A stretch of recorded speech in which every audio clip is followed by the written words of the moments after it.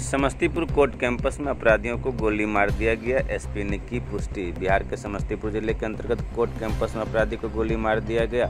उक्त मामले के संदर्भ में समस्तीपुर के एसपी विनय तिवारी ने पुष्टि किया है कि शराब माफिया और अपराधी प्रभात चौधरी, जिसको कुछ माह पूर्व काफ़ी मशक्कत से और एसटीएफ के सहयोग से समस्तीपुर पुलिस द्वारा गिरफ़्तार किया गया था उसी को ख्यात अपराधी प्रभात चौधरी पर आज कुछ उसके पूर्व साथियों अपराधियों द्वारा कोर्ट कैंपस के अंदर गोली मारी गई है। एक अन्य अपराधी को भी गोली लगी है। घटना हुई है समस्तीपुर कोर्ट कैंपस के अंदर कुछ दिन पहले एक कुख्यात शराब माफिया था प्रभात चौधरी।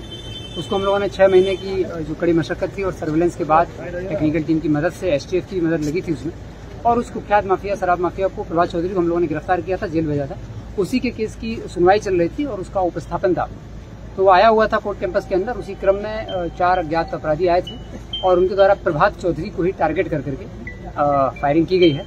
उसके पैर में गोली लगी है।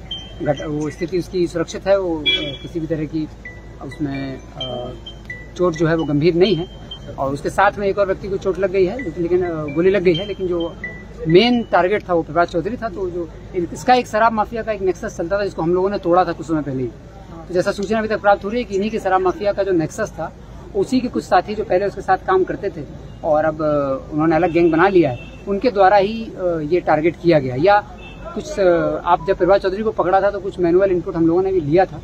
तो इसी शराब की जो सिंडिकेट था, इसमें प्रभात चौधरी को गोली लगी है और कुछ शराब माफियाओं के द्वारा ही जो उसके साथ काम करते थे, उनके द्वारा घटना करने की हम लोगों को उम्मीद है और हम लोग को जो सर्वेलेंस वो बता रहा है।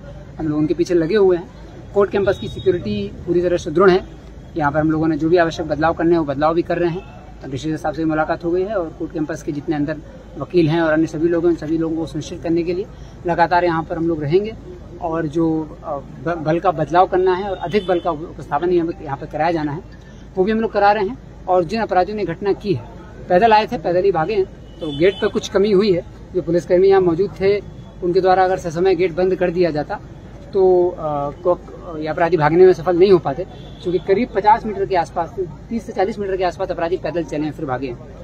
तो इसमें हम लोग देखेंगे जिन पुलिसकर्मियों की लापरवाही होगी उन पर कार्रवाई भी करेंगे और जो जिन लोगों ने गोली चलाई है उनको पकड़ करके सजा दिलाने का काम किया जाएगा। प्रभात चौधरी को गोली लगी वो भी सदर और अस्पताल कितने सर घायल है टोटल टोटल दो लोग घायल हुए हैं इसमें। पुलिस वाले का भी नाम नहीं नहीं पुलिस वाला कोई इसमें घायल नहीं है पुलिस वालों ने बचाने का पुलिस वाला जो पुलिस साथ में थी उसने पकड़ने का प्रयास किया लेकिन वो नहीं पकड़ पाया लेकिन जो गेट पे पुलिस थी पुलिसकर्मी थे उनके द्वारा बहुत तत्परता नहीं दिखाई गई कार्य में। उनके द्वारा अगर तत्परता दिखाई जाती तो ये घटना नहीं होती। इसकी भी हम लोग पूरी जाँच करेंगे एसडीपीओ साहब करेंगे इसकी पूरी जाँच।